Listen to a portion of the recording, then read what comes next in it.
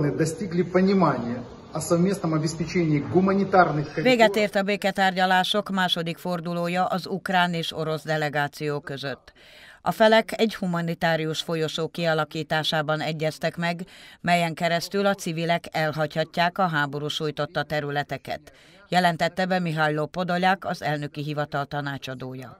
A mentőakció idejére a felek garantálták a tűzszünetet. Egyben megállapodtak abban, hogy rövid időn belül folytatják a tárgyalásokat.